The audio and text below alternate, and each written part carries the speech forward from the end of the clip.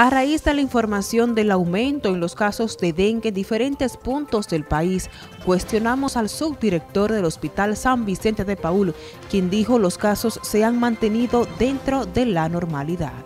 Bueno, mira, realmente en este caso no tenemos casos de dengue ingresados, de casos comprobados de dengue. Eh, sí tenemos niños con episodios febriles. Este, te puedo decir que por la temporada, generalmente a nivel estadístico uno espera que se aumente pues este, eh, esta patología.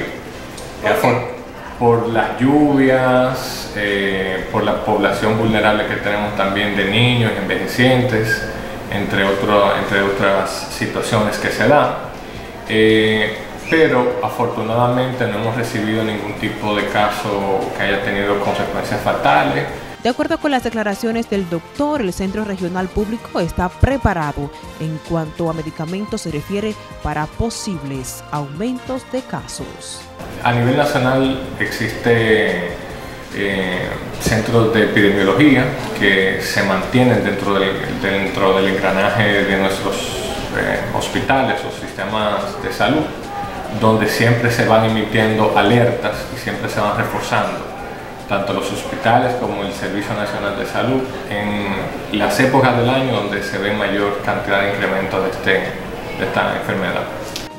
Cordero, NTN, su noticiero regional.